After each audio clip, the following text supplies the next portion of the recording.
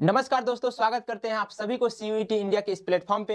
जी हाँ दोस्तों, कैसे हैं आप लोग? उम्मीद करते हैं बहुत अच्छे होंगे और पिछले वाले जो सेशन था उसको बहुत अच्छे तरीके से देखे होंगे और शॉर्ट नोट्स बनाए भी होंगे। चलिए, आज जो हम बात करने जा रहे हैं, जैसे कि आपको पता है, पिछले वीडियो में हम लोग राजा, किसान और नगर की बात किए थे। तो आज हम उसी कड़ी में आगे बात करने जा रहे हैं कि राजा, किसान, नगर जहाँ पे हम स्टार्ट किए थे तो सबसे पहले आपको बताए थे हम वैदिक सभ्यता के बारे में। वैदिक सभ्यता को हम दो भागों में बांटे थे। पहला नंबर ऋग्वैदिक काल, जिसके कालक्रम की बात करें तो पंद्रह सौ से लेकर के एक हज़ार इसके बाद हम उत्तर वैदिक काल, यानी कि दो भागों में बांटे थे। पहला ऋग्वैदिक काल दूसरा उत्तर वैदिक काल इसकी टाइम पीरियड की बात करें तो 1000 बीसी से लेकर के 600 बीसी आपको बताए थे। इसके बाद देखे थे कि किस तरीके से जन से जनपद बना और वही जनपद जो जो जनपद था, वो उत्तर वैदिक काल में आते आते लास्ट लास्ट उत्तर वैदिक काल के लास्ट लास्ट होते हुए क्या हुआ? महाजनपद का रूप लेना शुरू कर दिया। उस तरीके से हम देखते हैं कि छोटे छोटे जनपद मिलकर के महाजनपद बना और सोलह महाजनपद के बारे में जानकारी मिलता है। और जानकारी की बात करें तो ये कहाँ से मिलता है? तो आपको बताए थे कि बौद्ध ग्रंथ के अंगुतर निकाय और जैन ग्रंथ के भगवती सूत्र। तो इससे आपको इससे आपको मगध के जो सोलह महाजनपद था यानी कि जो सोलह महाजनपद था उन सभी के बारे में जानकारी मिलता है। इसके बाद आपको महाजनपद के बारे में बताए थे कि कौन सा महाजनपद की राजधानी कहाँ है कौन सा महाजनपद कहाँ पड़ता है। इसके बाद आप एक, एक शॉर्ट ट्रिक्स के माध्यम से आपको सोलह महाजनपद का नाम याद करवाने की कोशिश किए थे ए से जेड तक ए से जेड तक जो एक ट्रिक था। इसके बाद आपको हम बताए थे कि मौर्य में जो सबसे पर, सबसे प्रमाणिक वंश जो बताए थे कि वो कौन सा वंश था वो हरेक वंश था। हरेक वंश के अगर शासक की बात करें तो पहला बिंबिसार हुआ। बिंबिसार ने क्या किया? शादी के माध्यम से अपने क्षेत्र का विस्तार किया।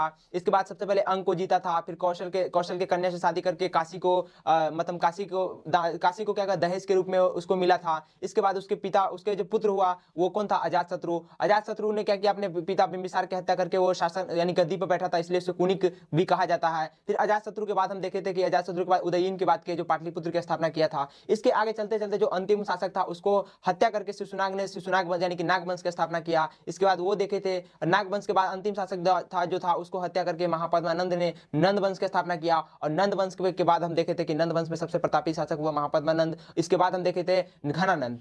और और घनानंद पर आकर के हम वो उस वीडियो को एंड किए थे। और आपको बताए थे कि घनानंद के बारे में हम आगे जब मौर्य साम्राज्य के बारे में, मौर्य साम्राज्य जो पढ़ेंगे, यानी कि एक आरंभिक साम्राज्य एनसीआरटी जब आप देखेंगे तो वहाँ लिखा रहेगा एक आरंभिक साम्राज्य, यानी मौर्य साम्राज्य के बारे में एक आरंभिक साम्राज्य शब्दों का प्रयोग करते हैं। तो आज हम बात करेंगे मौर्य साम्राज्य के बारे में। और मौर्य साम्राज्य के बारे में अच्छे से देखेंगे वहाँ की सामाजिक स्थिति, वहाँ की आर्थिक स्थिति, और यहाँ पे हमको मोटा मोटी सामाजिक आर्थिक पढ़ना है। किंतु हम आपको सामाजिक आर्थिक के अलावा भी जहाँ से जो सामाजिक आर्थिक के अलावा भी देखते हैं, वहाँ के आर्थिक आर्थिक व्यवस्था के अलावा वहाँ के सामाजिक व्यवस्था में वर्ण व्यवस्था को देखते हैं, क्या स्थिति थी, महिला की स्थिति क्या था, इसके बाद वहाँ के रहन सहन खान पीन बहुत सारे चीज़ों को हम यहाँ पे एड ऑन किए हैं जो एडिशनल है। अगर आप यहाँ से पढ़ लेते हैं, मान लीजिए अगर क्वेश्चन कभी कभी घुमा फिरा के अगर एनटीए पूछ लेता है तो आपसे आपसे अगर छूट सकता है, वैसी स्थिति में अगर अगर आप सभी चीज़ों को पढ़े रहेंगे, जब मौर्य साम्राज्य पढ़ रहे हैं तो सारा जितने भी इनसे जुड़ी हुई, जितने भी फैक्ट है, जितने भी अन्य, यानी इससे इतर, जो एनसीआरटी से थोड़ा इतर जो भी इसके बारे में जानकारी मिलता है, उन सभी को पढ़ लेंगे तो ज़्यादा ज़्यादा सही रहेगा। जब आगे आप इनसे, जब आगे आप एंट्रेंस पास करके आप जब किसी कंपिटेटिव एग्ज़ाम के जब तैयारी करेंगे तो वहाँ आपके हेल्पफुल हो सकता है। और हो सकता है कि एनटीए एनटीए ही कुछ ऐसा प्रश्न बना दे जो अन्य, जो एनसीआरटी पढ़ के गया हो, उससे ना बने। और आप जो थोड़ा सा एडिशनल फैक्ट जानते होंगे और आपसे बन जाए तो वहाँ आपके लिए और सोने में सुहागन होगा। तो चलिए, आज हम शुरू करने जा रहे हैं मौर्य साम्राज्य। चलिए। देखिए राजा किसान और नगर वाले जो है ये आज पार्ट थर्ड है। चलिए। मौर्य साम्राज्य, यानी क्या है मौर्य साम्राज्य, यानी मौर्य इंपायर यानी मौर्य साम्राज्य के बारे में सबसे पहले ब्रीफली देखते हैं कि मौर्य साम्राज्य आखिर था क्या। देखिए, बात आपको बताए थे कि जो अंतिम शासक था घनानंद था। नंद वंश के मगध पर जो अंतिम शासक जो हुआ था, वो घनानंद था। और घनानंद की हत्या करके ही चंद्रगुप्त मौर्य ने अपने गुरु चाणक्य की सहायता से मौर्य वंश की स्थापना किया था। आपको ये हिस्ट्री आपको एक थोड़ा छोटा सा स्टोरी है, वो आपको सुनाने का प्रयास करेंगे ताकि आपको समझने में थोड़ा सा आसानी हो। देखिए, बात है तीन सौ बीसी की, उस समय क्या था, जो सिकंदर था सिकंदर था, वो भारत पे, भारत यानी कि सिकंदर जो था वो संपूर्ण विश्व को जीतने का जीतने का स्वप्न लेकर के भारत की ओर भी बढ़ रहा था। उस समय तक्षशिला विश्वविद्यालय के एक आचार्य हुआ करते थे, जिसका नाम था चाणक्य, जिसको आप जानते भी होंगे। मौर्य साम्राज्य के बारे में जब हम पढ़ेंगे तो उसका बहुत बार वर्णन आएगा। चाणक्य, जिसका नाम कौटिल्य भी था, विष्णुगुप्त भी था, उनके बारे में आप चर्चा सुने होंगे। तो देखिए, जो चाणक्य या कौटिल्य, जो विष्णुगुप्त थे, उसको डर हुआ कि हो सकता है कि ये जो सिकंदर है, वो संपूर्ण भारत पे जीत न ले। उस समय जो देखते हैं कि मगध में सबसे, जो उस समय की बात करें भारत में तो सबसे मज़बूत जो साम्राज्य था, वो मगध महाजनपद ही था। तो चाणक्य ने मगध मगध मगध में आकर के जो घनानंद शासक थे, उनसे जाकर के कहा कि देखिए, जो सिकंदर है, वो भारत को जीतने के, जीत, जीतने के दौर, जीतने की मंशा लेकर के भारत में आ चुका है और जो दक्षिण पश्चिम यानी कि जो अभी पाकिस्तान वाला, अफ़गानिस्तान वाला एरिया जो देखते हैं, पाकिस्तान और भारत के जो बॉर्डर वाला एरिया देखते हैं, उन सभी को जीत लिया था। और वहाँ के जो भी राजा थे, वो वहाँ के जो भी राजा थे, क्या, किया क्या, किया जो वहाँ के जो भी राजा थे, वो क्या किया था? उनको मतलब कि अपना मतलब कि स्वीकार कर लिया था कि ठीक है हम हार गए और वो हार स्वीकार करने के बाद जो सिकंदर था वो आगे बढ़ते हुए ब्यास नदी के पास पहुँच गया था। अब चाणक्य ने वहाँ जाकर के जब उनसे कहा कि देखिए आप कुछ कीजिए वरना ये सिकंदर संपूर्ण भारत को जीत ले, लेगा। तब क्या किया तब घनानंद ने क्या तब जाकर घनानंद ने चाणक्य को चाणक्य को धक्का देकर के गिरा दिया। और जब धक्का देकर गिराया तो उनका चोटी खुल गया। तो चाणक्य ने उसी दिन प्रण लिया कि जब तक हम इस क्रूर शासक यानी जो घनानंद थे बहुत ही क्रूर शासक थे। जब तक इस क्रूर शासक को हम जब तक इस गद्दी से नहीं हटाएँगे जब तक इस गद्दी पे किसी अच्छे शासक को ला करके नहीं बैठाएँगे, तब तक हम ये चोटी नहीं बांधेंगे। इसके बाद आप देखते हैं कि चाणक्य के, चाणक्य बाहर निकलते हैं, इसके बाद उसको चंद्रगुप्त मौर्य मिलता है और चंद्रगुप्त मौर्य को शिक्षा दीक्षा देकर के उसने मौर्य वंश के स्थापना में चंद्रगुप्त को काफ़ी मदद किया मदद किए थे। तो चलिए, आपको मौर्य वंश के बारे में मोटा मोटी आपको जानकारी मिल गया कि किस तरीके से स्थापना हुआ था। तो चलिए अब देखते हैं मौर्य वंश के बारे में।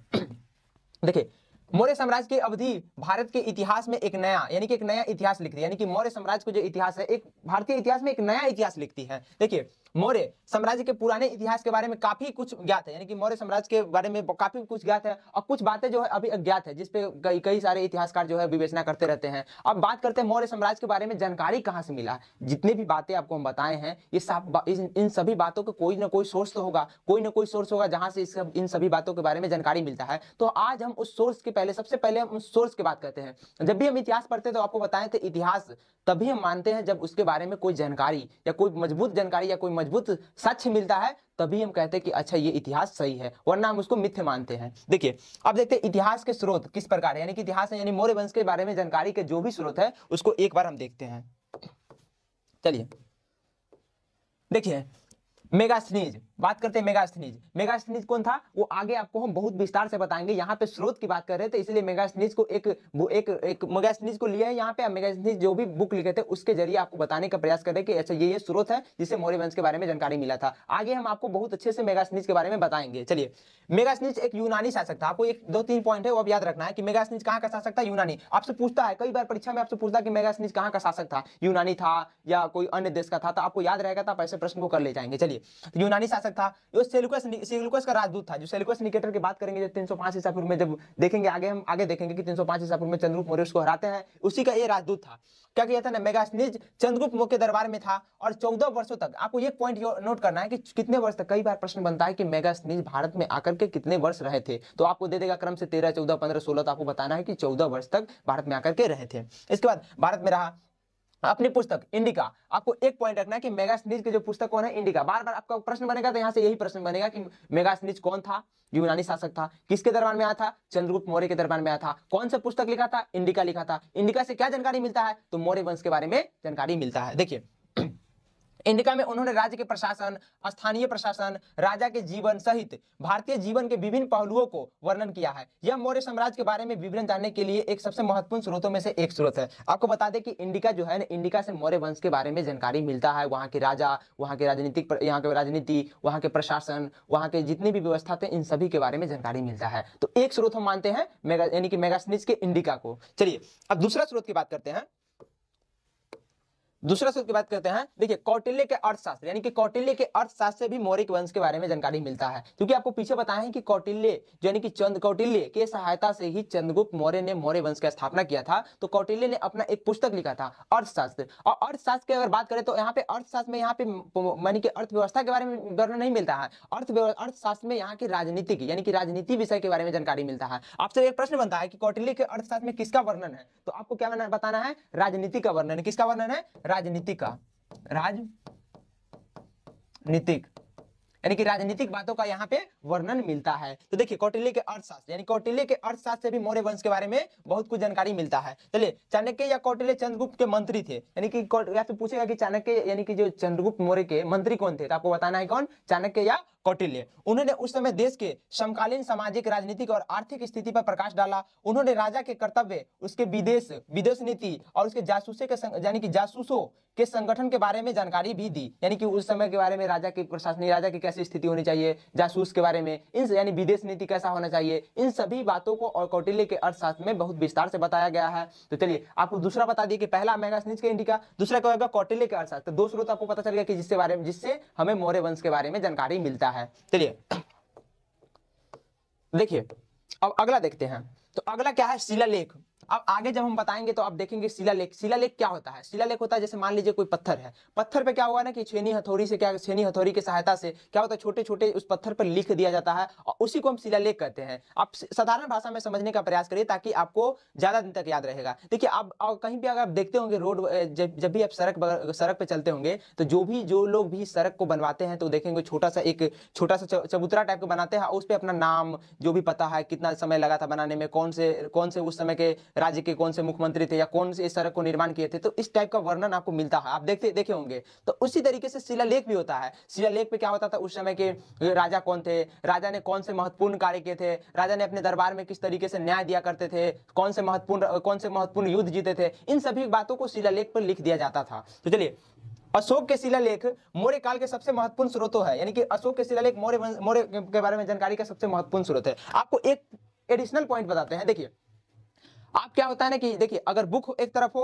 और एक तरफ़ शिलालेख हो तो आप किसको बहुत ज़्यादा महत्व देंगे? देखिए, क्या होता है ना, कई बार आपसे प्रश्न, ऐसा प्रश्न बनने की बहुत कम संभावना है, लेकिन अगर बन जाए, मान मान लीजिए अगर बन जाए तो ऐसी स्थिति में आप क्या करेंगे? अगर देखिए जैसे पूछ देगा कि मौर्य वंश के बारे में जानकारी का सबसे सर्वोत्तम स्रोत कौन सा है? आपको दे देगा कौटिल्य के अर्थशास्त्र, मेगास्थनीज का इंडिका शिलालेख इनमें चौथा ऑप्शन देगा, इनमें से चौथा ऑप्शन कोई और दे देगा, यानी चारू ऑप्शन दे देगा। आपको पता है कि चारों ऑप्शन क्या है कि दीप वंश महावंश चौथा ऑप्शन मान लीजिए दीप वंश और महावंश तो इस तरीके से देखते हैं चार ऑप्शन हो गया। और चार ऑप्शन में आपको अगर चार ऑप्शन दे दिया, आपको पता है कि चारों ऑप्शन यानी चारों जो है, ये चारों मौर्य वंश के बारे में जानकारी प्रदान करता है। लेकिन सबसे सटीक कौन जानकारी देता है? तो आपको एक बता दें कि सबसे सटीक की बात करें, जब भी आप सटीक की बात करते हैं तो वो शिलालेख, जो पुरातात्विक साक्ष्य जो होता है, उसको कभी भी बदला नहीं जाता है। जो पत्थर पे जो लिख दिया गया है वही रहेगा, उसको मिटा नहीं सकते हैं। तो इसलिए सबसे ज़्यादा जो महत्वपूर्ण हम मानते हैं उस शिलालेख को मानते हैं। मान लीजिए बुक बुक के फॉर्म में है तो हो सकता है उसको बुक के फॉर्म में अभी नया एडिशन निकाले तो उसमें कुछ एड कर दे, या कुछ घटा बढ़ा दे तो इस तरीके से हो सकता है,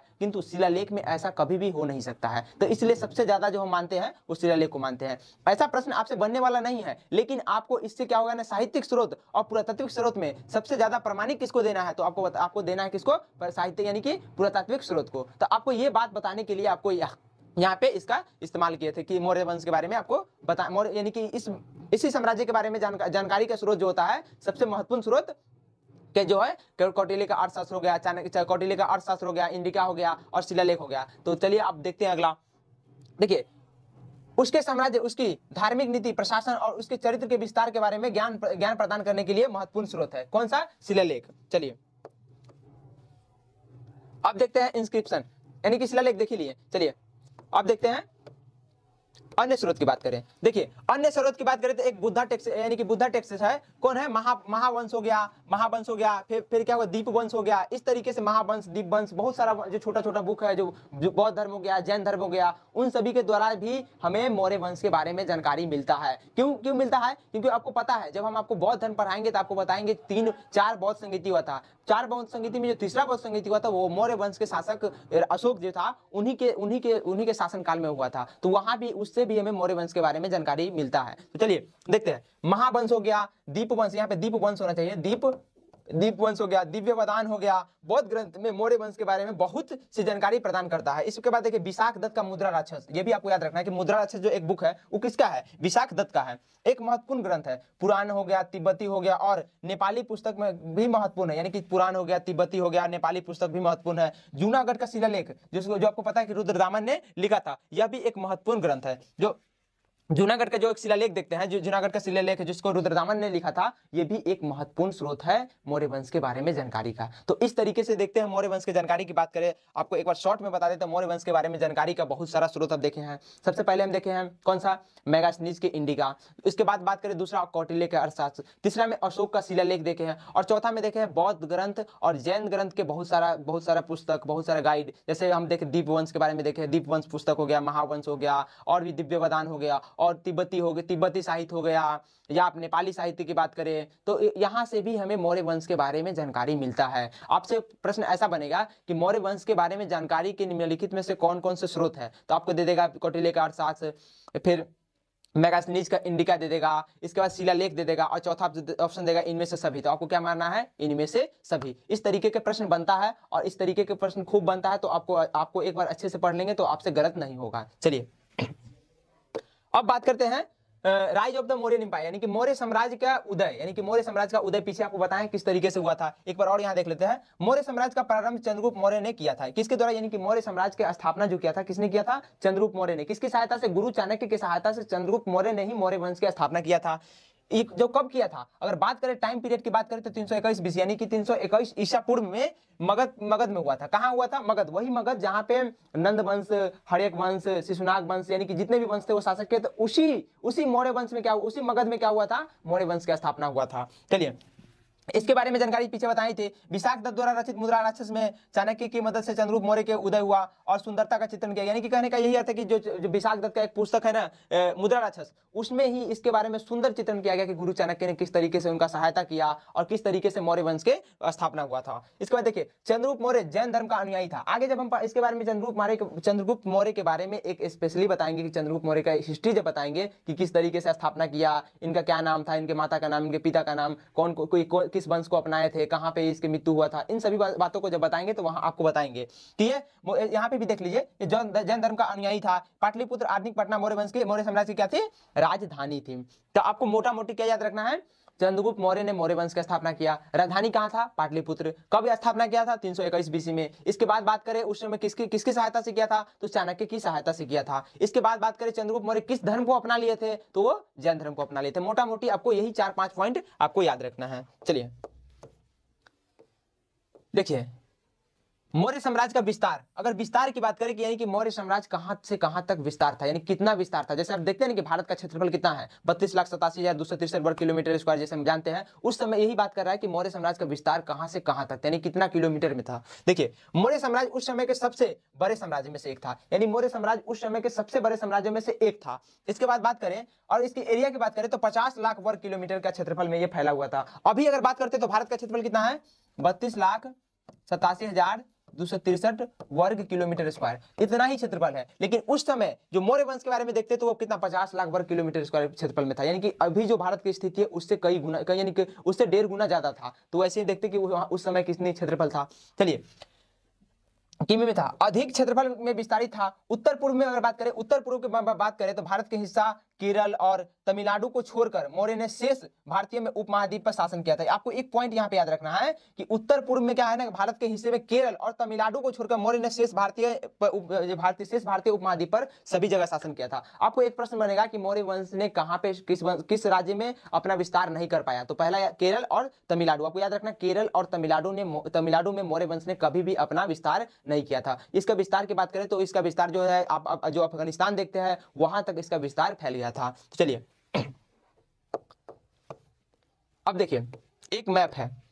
इस मैप के ज़रिए देखिए कि भारत जो मौर्य एम्पायर है, वो कितना कितना मतलब विस्तारित था। यहाँ तक मौर्य साम्राज्य क्या होता फैल गया था। वो पता है, गंधारा को पीछे बताए थे, तक्षशिला बताए थे, ये सब ये सब संपूर्ण क्षेत्र पर यहाँ से ऐसे करके ऐसे करके क्या हुआ था, ऐसे करके पूरा में मौर्य साम्राज्य फैला हुआ था। यानी इतना क्षेत्रफल में मौर्य साम्राज्य था। अगर भारत की स्थिति देखते हैं तो ऐसे है। लेकिन यहाँ ये जो पाकिस्तान, अफ़गानिस्तान वाला जो एरिया है, इन सभी क्षेत्रों को भारत में उस समय मौर्य साम्राज्य शासन कर रहे थे। यहाँ पे बात करें, यहाँ पे जो था, केरला, यानी केरल और तमिलनाडु, जो जो चेर, चेल, चोर, चेल और पांडे वंश था, जो यहाँ यहाँ पे वो मौर्य साम्राज्य अपना विस्तार नहीं कर पाए थे। तो चलिए। अब देखिए। आपको बता दिए कि मौर्य वंश की स्थापना कैसे हुआ था? कौन कौन से राज, कौन कौन से कौन वंश ने, कौन से राजा ने इसका स्थापना किया था? अब हम बात करते हैं मौर्य वंश के प्रशासन के बारे में। आप एक वीडियो के एक मतलब एक देखिए, यहाँ पे मौर्य वंश के प्रशासन किस तरीके से हुआ करता था। और यहाँ से आपको एक से दो प्रश्न बनेगा, क्योंकि यहाँ जो आपको दिए कुछ एडिशनल फैक्ट दिए, जो एनसीआरटी के अलावा जो अन्य बुक देखेंगे आप, कोई कोई, अगर दूसरा बुक देखते हैं तो वहाँ दिया रहता है। किंतु एनसीआरटी में ये पॉइंट नहीं दिया गया है। लेकिन यहाँ से खूब प्रश्न पूछे जाते हैं। तो वैसी स्थिति में अगर आप यहाँ से पढ़ लेंगे तो अगर यहाँ से प्रश्न बनेगा तो आप बना ले जाएँगे। जो एनसीआर में दिया है, वो तो आपको यहाँ पे है ही। उसके इतर जो भी इंपॉर्टेंट है, वो सभी यहाँ पे एड ऑन किए हैं। देखिए, अब मौर्य प्रशासन की बात करें। तो प्रशासन की बात करें तो राजा प्रमुख होता है। जैसे कि आपको पता है कि किसी भी, जैसे भारत को चलाने के लिए राष्ट्रपति हो गया, प्रधानमंत्री हो गया, क्या राष्ट्रपति और प्रधानमंत्री दोनों मिलकर ही बस वही दोनों मिलकर के चला रहे हैं पूरे संपूर्ण भारत को? तो ऐसा नहीं। कई सारे राज्य वहाँ अलग मुख्यमंत्री होते हैं, वहाँ अलग राज्यपाल होते हैं, इसके साथ कई सारे आई एस मंत्रिमंडल, ये सभी समूह मिल करके यानी संसद हो गया, संसद में जितने भी मेंबर होते हैं, ये सभी मिल करके क्या होता है, भारत को शासन, प्रशासन को चला रहे होते हैं। तो ठीक उस समय भी राजा होते, राजा तो हुआ करते ही थे। और राजा के अलावा भी बहुत सारे मंत्री हो गया, महामाते हो गया, अमाते हो गया, ये सभी मिलकर के क्या करते थे, उस समय के जितने भी शासन प्रशासन था, इन सभी को देखरेख और चलाया करते थे। चलिए, देखिए, उस समय भी मंत्री परिषद हुआ करता था, अमात्य के बारे में पढ़ेंगे, महामात्य हुआ करता था, अध्यक्ष हुआ करता था, और कुशल जासूसी प्रणाली को बनाए रखा गया था। आपसे एक पॉइंट बनेगा कि ये पॉइंट एडिशनल पॉइंट याद रखेगा राजा जो था, वो कुशल जासूसी प्रणाली को बनाए रखा गया था। ये जासूसी, उस जासूसी उस समय भी हुआ करता था, और राजा उसके, राजा को ये जासूस जो था, वो डायरेक्ट क्या करते थे? राजा को अपना जो भी जानकारी होता था डायरेक्ट राजा को जाकर के दिया करते थे। चलिए, अब देखिए मौर्य प्रशासन की बात करें तो मौर्य प्रशासन की प्रमुख विशेषता क्या है? अगर विशेषता की बात करते हैं कि मौर्य प्रशासन की विशेषता क्या है, देखिए, मौर्य साम्राज्य भारत का पहला कल्याणकारी राज्य था। मौर्य साम्राज्य भारत का पहला कल्याणकारी राज्य था। एक सुव्यवस्थित, यानी क्या होता है, एक सुव्यवस्थित तरीके से प्रशासन को प्रशासन किया करते थे। इसके बाद देखिए, भारतीय इतिहास का सबसे केंद्रीकृत राज्य था। एक यह अच्छी तरह से अच्छी तरीके से अच्छी तरह से विस्तारित और संगठित नौकरशाही वाला राज्य था। कैसा था? अच्छे तरीके से वेल सेटल्ड यानी वेल सेटल्ड राज्य था और अच्छे तरीके से यहाँ पे शासन प्रशासन हुआ करते थे। चलिए, अब बात करते हैं यहाँ पे। महत्वपूर्ण पदाधिकारी को क्या करते थे? तीर्थ करते हैं आपको एक पॉइंट याद रखना है कि महत्वपूर्ण जो भी पदाधिकारी हुआ करते थे उस समय के उसको क्या करते थे? तीर्थ कहते थे। किस क्या करते थे? तीर्थ करते थे। आप देखिए ये दो पॉइंट जो है बहुत इंपॉर्टेंट है। कई बार एग्ज़ाम में पूछा गया। आप, आप अगर बीएचयू इंट्रेंस की बात करें तो जब बीएचयू लेते थे स्पेशली बीएचयू जब लिया करते थे उस समय भी ये प्रश्न बना है। और और भी बहुत सारे यूनिवर्सिटी जैसे DU में भी जे में भी कई बार ये प्रश्न बना हुआ है। देखिए यहाँ पर क्या है? समाहारता। समाहारता किसको कहते थे? जो कर संग्रह करते थे उस समय उसको समाहारता कहते थे। और सन्निधाता। ये दो पॉइंट रखने के याद रखेगा बहुत ज़्यादा कंफ्यूज रहेंगे दोनों पॉइंट पे। समहर्ता क्या होता था? कर संग्रह करता था। समहर्ता, याद रखें, समहर्ता कर संग्रहक और सन्निधाता क्या था? ये मुख्य कोषाधिकारी होते थे। ये कोषाधिकारी होते थे दोनों के बारे में आप जान गए कि दोनों क्या हुआ करते थे। आपको यही चीज़ है समहर्ता जो कर संग्रह थे और सन्निधाता क्या थे? कोषाधिकारी हुआ करते थे। चलिए, और भी जो भी प्रशासन अधिकारी थे, उसके बारे में भी एक बार देख लेते हैं। देखिए, यहाँ पे देखिए तीर्थ, जो विभाग का प्रमुख होता था, इसको अध्यक्ष महत्वपूर्ण विभागों के प्रभारी हुआ करते थे। महामाते की बात करें तो विशेष कर्तव्य इसका हुआ करता था, कोई विशेष कार्य के लिए। अमाते की बात करें तो ये कार्यकारी अधिकारी हुआ करता था। चलिए, अब तीर्थ, जो भी महत्वपूर्ण तीर्थ हुआ, जो भी जो भी अधिकारी हुआ, उसके बारे में एक बार देख लेते हैं। उससे पहले आपको हम बता दें कि जब अशोक के अशोक के जब हम देखते हैं ना कि अशोक के अशोक के अभिलेखों में चार प्रांत, चार प्रांतों में राज्यपाल के अधीन शासन था, यानी कि चार प्रांत जो था, वो राज्यपाल के अधीन आते थे, और वो चार प्रांत कौन थे? ऐसे मुख्य रूप से अगर बात करें तो पाँच थे, लेकिन पहला जो प्रांत था वो पाटलिपुत्र उस पर खुद खुद राजा राजा अपना शासन, प्रशासन देख करते थे, और अन्य जो चार प्रांत है वो चार प्रांत कौन है? देखिए, अन्य चार प्रांत की बात करें तो उत्तरापंथ उत्तरापथ के जहाँ पे आपको एडिशनल यहाँ पे राजधानी ही पूछा जाएगा कि उस समय की राजधानी क्या था। उत्तरापथ की राजधानी की बात करें तो कहाँ था? तक्षशिला था। आपको ये याद रखना है कि उत्तरापथ की राजधानी, कुछ पॉइंट आपको याद रहे या न रहे, लेकिन आपको ये चीज़ें याद रखना है कि उत्तरापथ की राजधानी कहाँ है? तक्षशिला। इसी तरीके से बात करें, अवंती प्रांत की राजधानी क्या है? तो उज्जैन। कहाँ है अवंती प्रांत की राजधानी? उज्जैन। बात करें कलिंग की राजधानी कहाँ है? तो तोसली। इसके बाद दक्षिणा पंथ की राजधानी कहा है? तो स्वर्ण गिरी ये चार ये चार पॉइंट आपको याद रखना है कि अच्छा यहाँ की राजधानी यहाँ है। आपको एक बार फिर से बता दें उत्तरापंथ की राजधानी तक्षशिला अवंती की राजधानी उज्जैन है कलिंग की राजधानी तोसली है और दक्षिणा पंथ की राजधानी स्वर्ण गिरी है। ये चार पॉइंट आपको याद रखना है क्योंकि यहीं से प्रश्न बनेगा। हो सकता है आपको चारों राजधानी दे दे एक तरफ़ चार, चार एक तरफ़ राज का नाम दे दे एक तरफ़ राजधानी का नाम दे दे। आप पूछे कि बताइए मिलान चिन्ह मिलान मिलान चिन्ह करिए। या आपसे पूछ देगा चार को चारों चारों को चारों राजधानी दे देगा इस तरह एक तरफ़ शहर का नाम दे देगा। अब बताएगा इनमें से बताइए इनमें से कौन सा एक जो है सुमलिखित नहीं सुमलिखित नहीं है। तो वैसे भी प्रश्न बन सकता है तो आपको अच्छे तरीके से इसकी राजधानी याद रखना है। चलिए, अब कुछ कुछ एडिशनल पॉइंट जो आपको एनसीईआरटी में तो नहीं मिलता है, किंतु अगर आप इसको याद रखेंगे तो हो सकता है कि अगर बीपीए यहाँ अगर आपको सीयूईटी के एंट्रेंस में ना पूछा जाए, किंतु अगर अगर कोई अन्य एग्ज़ाम की तैयारी करेंगे तो वहाँ पूछ सकता है। हो सकता है कि सीयूईटी के एग्ज़ाम में ही पूछा जा सके, क्योंकि क्या ऐसा तो बाउंड ऐसा तो फिक्स नहीं है कि ट्वेल्थ क्लास के बुक से ही सारा कुछ आएगा। हो सकता है ट्वेल्थ क्लास के बुक में जो जो दो लाइनों के बीच के जो गैप होता है ना, वहाँ से भी प्रश्न बनता है। तो हो सकता है वहाँ पे इसकी कहीं पे आपको इनडायरेक्ट रूप से वहाँ दिया हो, और वैसे अधिकारी की चर्चा अगर हुआ हो तो आपको अगर वैसे अधिकारी के बारे में अगर जानकारी रहेगा कि कौन से अधिकारी किस पद पे थे तो आपको बनाना आसान रहेगा। देखिए, बात करते हैं मंत्री। ये क्या होता था? मंत्री हुआ करता था। और मुख्य पुजारी, जो उस समय के जो मुख्य पुजारी होता था, उसको हम क्या कहते थे? तो पुरोहित कहते थे। क्या कहते थे? पुरोहित करते थे। जो मुख्य पुजारी हुआ करते थे, उसको हम पुरोहित करते थे। जो सेना का अध्यक्ष होता है उसको क्या कहते हैं? सेनापति। आपको याद रखना बहुत आसान होगा, जो सेना के अध्यक्ष होते थे, उसको हम सेनापति कहते थे। जो मुख्य पुजारी हुआ करते थे, उसको हम पुरोहित कहते थे। पुजारी, पुरोहित, पुजारी पुजारी, पुरोहित। सेना का अध्यक्ष, सेनापति। युवराज, भाभी राजा। भावी राजा का अर्थ क्या हुआ? जो माने कि भविष्य में राजा बन बन सकते हैं। जो भविष्य में राजा बन सकते हैं, उसको हम क्या कहते थे? युवराज कहते थे। क्या कहते थे? युवराज। इसके बाद बात करें द्वारिका। द्वारिका किसको कहते थे? जो महल के प्रभारी हुआ करते थे, उसको हम द्वारिका कहते थे। ये देखिए, समाहर्ता। यहाँ भी एक बार फिर से एड ऑन कर दिया, क्योंकि ये दोनों पॉइंट आपके लिए बहुत ज़्यादा इंपॉर्टेंट है, क्योंकि कई बार ये इंट्रेंस में आया हुआ है। देखिए, समाहर्ता की बात करें तो जो कर संग्रह करते थे, वो समाहर्ता कहलाते थे। और सन्निधाता की बात करें तो ये कोषाध्यक्ष होते थे। या कोषाध्यक्ष कहे या कोषापाल कहे, बात बराबर है, उसका प्रमुख हुआ करते थे सन्निधाता। इसके बाद बात करें कारागृह। कारागृह के कौन सा अध्यक्ष हुआ करते थे? तो वो प्राशास्त्री प्राशास्त्री, कौन थे? प्राशास्त्री। इसके बाद देखिए, अंतर्वेशिका, वो क्या हुआ करते थे? अंतपुर का अंतपुर का क्या थे? प्रमुख थे। इसके बाद नगर का सिपाही कौन थे? वो नायक कहलाते थे। इसके बाद मुख्य न्यायाधीश कौन थे? तो क्या करते थे? व्यवहारिक व्यवहारिक व्यवहारिक जो थे, वो मुख्य न्यायाधीश के हुआ करते थे। इसके बाद देखिए, पुलिस के प्रमुख कौन हुआ करते थे? तो वो दंडपाल हुआ करते थे। तो इस तरीके से आप देखें, ये ये पॉइंट आपको याद रखना ज़रूरी है। अगर आप याद रखेंगे तो क्या होगा कि यहाँ से प्रश्न बनेगा तो आपका सही हो जाएगा।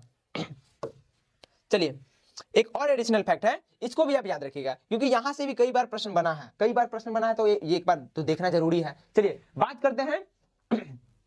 एक तरफ़ विभाग दिया है और एक तरफ़ अध्यक्ष दिया गया यानी कि कौन से विभाग का कौन अध्यक्ष हुआ करते थे। देखिए अगर बात करें लेखा यानी अकाउंटेंसी अकाउंटेंसी विभाग के अध्यक्ष कौन हुआ करते थे? यानी कि लेखा विभाग के अध्यक्ष की बात करें तो अखा अखाला अखाला अध्यक्ष अखाला अध्यक्ष क्या कौन हुआ करते थे? अख अखपाला अध्यक्ष। क्या दिया अखपाला अध्यक्ष। कौन हुआ करते थे? लेखक विभाग के अध्यक्ष तो अखपाला अध्यक्ष। इस तरीके से बात करते हैं वन उत्पादन। यानी कि वन के उत्पादन के अध्यक्ष कौन हुआ करते थे? तो वो कृपया कृपया अध्यक्ष। कौन हुआ करते थे? कृपया अध्यक्ष। इसके बाद बात करें टक्साल। ये कई बार पूछा गया इंटरेस्ट में कि टक्साल विभाग का जो प्रमुख हुआ करते थे उसका क्या कहते हैं? तो उसको क्या कहते हैं? लक्षणाध्यक्ष। कई बार कई बार इंटरेस्ट में पूछा गया और कई बार और अन्य एग्ज़ाम में भी देखेंगे तो पूछा गया है। तो आप याद रखें टक्साल भूमि का जो प्रमुख हुआ, हुआ करते थे उसका अध्यक्ष हुआ करते थे वो लक्षणाध्यक्ष हुआ करते थे। इसके बाद देखिए राजकीय भूमि।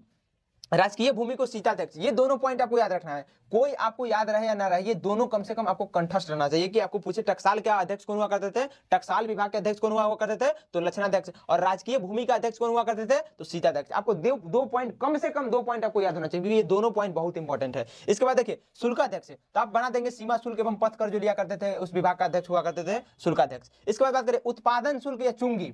चुंगी क्या था? एक प्रकार का कर था। इसके बाद करते सूराध्यक्ष। कौन हुआ करते थे? सूराध्यक्ष। इसके बाद देखिए, हथकरघा, जो हाथ से कोई भी वस्तु बनता था, उसके जो, उसके, उस विभाग के प्रमुख अध्यक्ष कौन हुआ करते थे? तो उसके बात करें तो सूत्राध्यक्ष। कौन हुआ करते थे? सूत्राध्यक्ष। यहाँ पे सूराध्यक्ष, यहाँ पे सूत्राध्यक्ष है। इसके बाद बात करें चारागाह भूमि।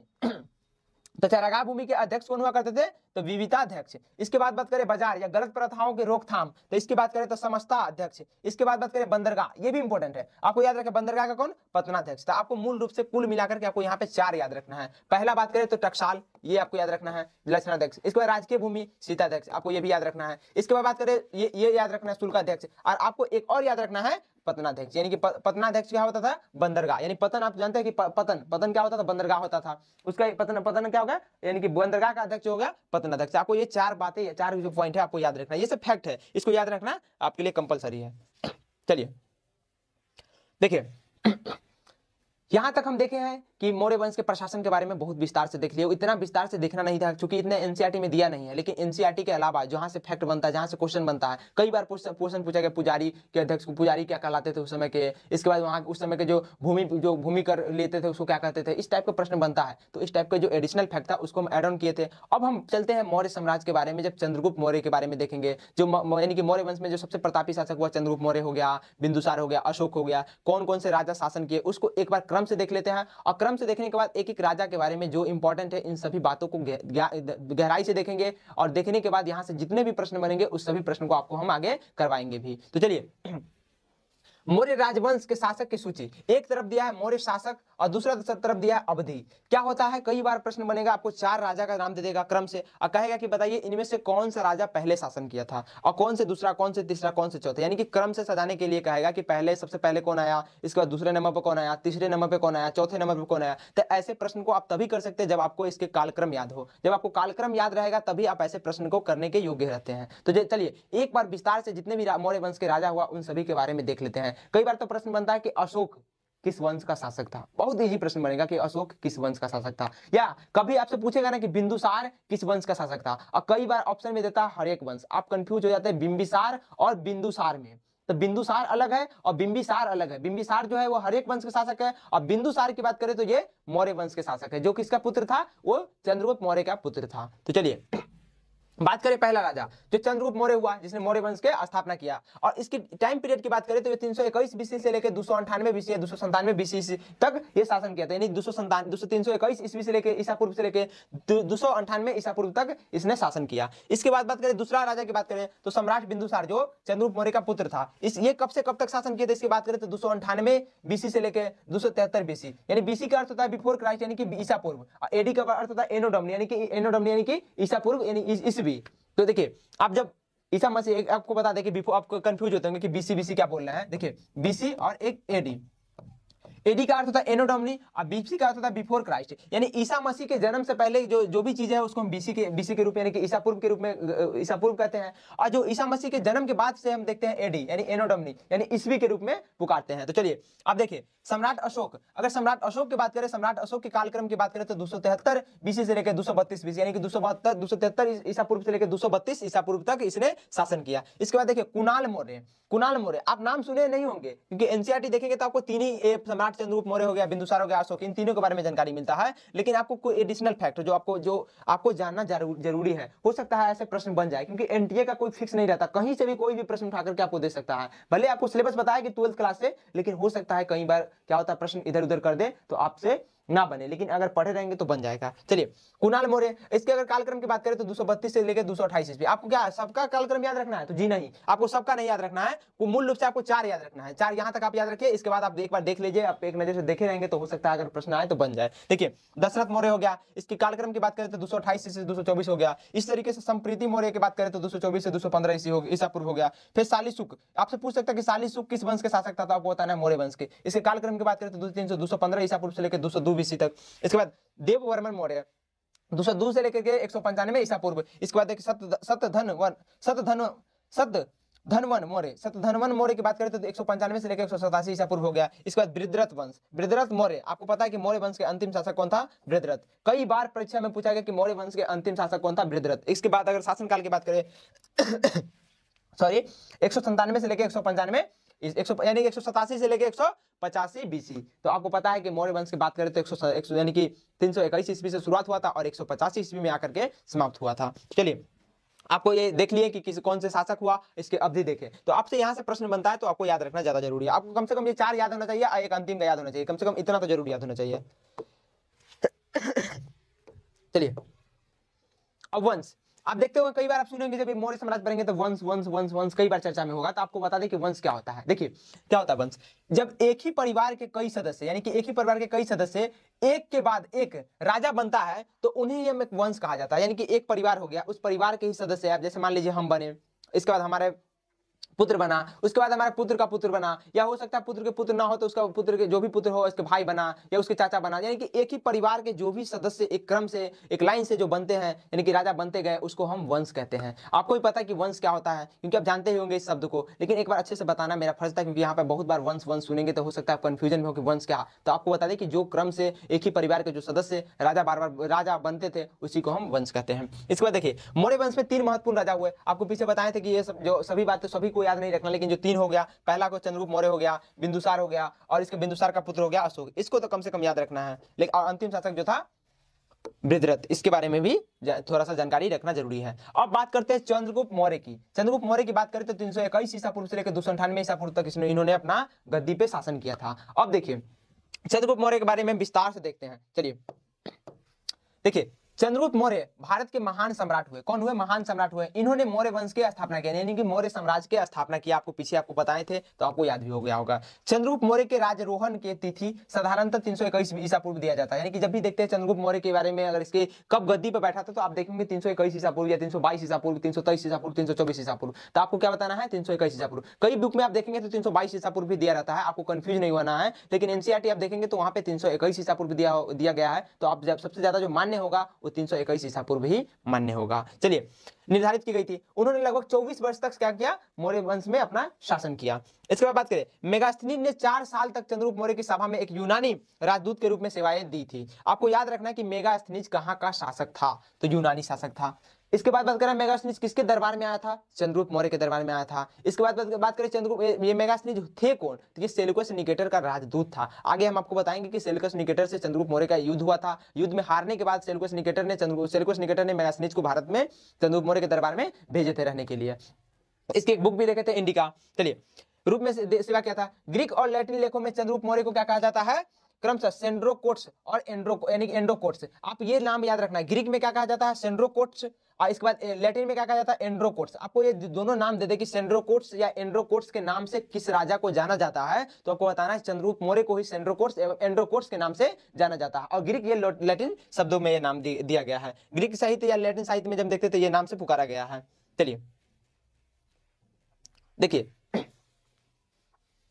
प्लूटार्क के अनुसार सेंड्रोकोटस सेंड्रो यानी कि सेंड्रोकोटस इन्हें संपूर्ण भारत को लगभग छह लाख सेना की विशाल वाहनी द्वारा जीतकर अपने अधीन कर लिया था यानी कि मगध जो, जो भी शासक था यानी कि इनका कहने का था पुलटार्क का यानी कि इसका कहने का पुलटार्क का कहने का अर्थ यह है कि मौर्य साम्राज्य ने छह लाख सेना को छह लाख सेना का एक समूह खड़ा करके मगध को जीत लिया। मगध के साथ साथ अन्य जो अन्य वहाँ के जो स्थल था उसको भी वो जीत लिया। जैसे आपको बताए थे पाकिस्तान अफ़गानिस्तान तक वो जीत गए थे। इसके बाद कलिंग को भी आगे चल के अशोक अशोक ने जीत लिए थे। आपको कलिंग का युद्ध बताएँगे आगे कलिंग को भी भारत में शामिल कर लिए थे यानी कि मौर्य साम्राज्य में शामिल कर लिए थे। चलिए देखिए, आप बताते हैं आपको, चंद्रगुप्त ने सौराष्ट्र की विजय की थी और महाछत्रप रुद्र, महाछत्रप, यानी कि महाछत्रप रुद्रदान रुद्रदामन के जूनागढ़ अभिलेख से प्रमाणित होता है कि कि वैसे पुष्पगुप्त यहाँ के राज्यपाल थे। देखिए, आपको बताते हैं कि जो वैसे राजपूत इसके बाद देखते हैं पुष्पगुप्त के बारे में, पुष्पगुप्त ने ही क्या किया था? यानी कि सुदर्शन झील का निर्माण किया था। आपसे आपसे प्रश्न बनता है कि सुदर्शन झील का निर्माण किसने किया था? तो पुष्पगुप्त ने ही किया था। किसके कहने पे? चंद्रगुप्त मौर्य के कहने पे। इसके बारे में जानकारी कहाँ से मिलता है? तो इसके बारे में जानकारी हमें रुद्रदामन के जूनागढ़ अभिलेख से मिलता है। और रुद्रदामन ने भी सुदर्शन झील का मरम्मत करवाया था खुद के पैसे से। ऐसे बहुत सारा राजा ने करवाया था, लेकिन जो पहला राजा था वो रुद्रदामन ने ही जूनागढ़ अभिलेख को बहुत व्यवस्थित, बहुत अच्छे तरीके से बनवाया था। तो चलिए, यानी बहुत अच्छे तरीके से उसका देखरेख किया था, बहुत अच्छे तरीके से वो व्यवस्थित तरीके से उसको देखरेख किया था। तो चलिए चंद्रगुप्त के अंतिम युद्ध 305 ईसा पूर्व में सिकंदर के पूर्व सेनापति एवं उनके समकालीन सीरिया के ग्रीक सम्राट सेलुकस के साथ हुआ था। आपको बताया था सेलुकस निकट का ही राजदूत कौन था? मेगासनीज। सेलुकस से हुआ था। और चंद्रगुप्त की शक्ति के सम्मुख सेलुकस को झुकना पड़ा। यानी कि चंद्रगुप्त क्या हुआ ना? चंद्रगुप्त के सामने सेलुकस निकटर की हार हो गई। तो चलिए, अब देखिए, सरबन बेलगोला से मीरे शिलालेख के अनुसार चंद्रगुप्त अपने अंतिम दिनों में भद्रबाहु के साथ सरवन बेलगोला चले गए और वहाँ जाने के बाद उसने क्या किया? अपना प्राण त्याग दिए। और वो किस धर्म के अपना लिए थे? वो जैन धर्म के अपना लिए थे। और उन्होंने उपवास के द्वारा शरीर त्याग कर दिए। आपको यहाँ पे दो तीन पॉइंट आपको याद रखना है कि चंद्रगुप्त मौर्य ने अंत, अपने अंतिम जीवन कहाँ जिए थे? सरवन बेलगोला अगर बात करें सरवन बेलगोला कहाँ पड़ता है? तो कर्नाटक में। कहाँ पड़ता है? कर्नाटक में। कर्नाटक राज्य में सरवन बेलगोला पड़ता है। इसके बाद बात करें किसके सहायता से इन्होंने वहाँ गया था तो आपको याद रखना भद्रबाहु के साथ गए थे वहाँ। इसके बाद बात करें किस धर्म को अपनाए थे तो ये जैन धर्म को अपना लिए थे, अपने अंतिम जीव क्षण में। चलिए, चंद्रगुप्त अंतिम मुकुटधारी, यानी कि मुकुटधारी, यानी कि अंतिम राजा हुए या मुनि हुए, उसके मुनि हुए जिन्होंने जैन धर्म अपनाया। उसके बाद कोई भी कोई भी मुकुटधारी शासक, यानी मुकुटधारी शासक की बात कर रहा है, दिगंबर मुनि नहीं हुए। अतः चंद्रगुप्त अतः चंद्रगुप्त क्या हुआ? जैन धर्म में जैन धर्म में महत्वपूर्ण स्थान है, यानी चंद्रगुप्त मौर्य का क्या हुआ? बौद्ध धर्म में महत्वपूर्ण स्थान है। तो चलिए, आज हम लोग यहीं तक देखते हैं, और अगले वीडियो में हम देखेंगे कि बिंदुसार के बारे में देखेंगे, फिर अशोक के बारे में, अशोक के धम्म, फिर इसके बाद बहुत सारे बातें, सामाजिक स्थिति, आर्थिक स्थिति, इन सभी के बारे में विस्तार से चर्चा करेंगे। तो चलिए, आज यहीं पे खत्म करते हैं, अगले सेशन में मिलते हैं। नेक्स्ट वीडियो में आपको इससे आगे जो भी है, आपको बताएँगे। चलिए, जय हिंद। तब तक देखते रहिए और रिवीजन करिए। कहीं पे अगर कोई दिक्कत हो तो आप हमको यहाँ पे कमेंट बॉक्स में मैसेज कर सकते हैं। चलिए।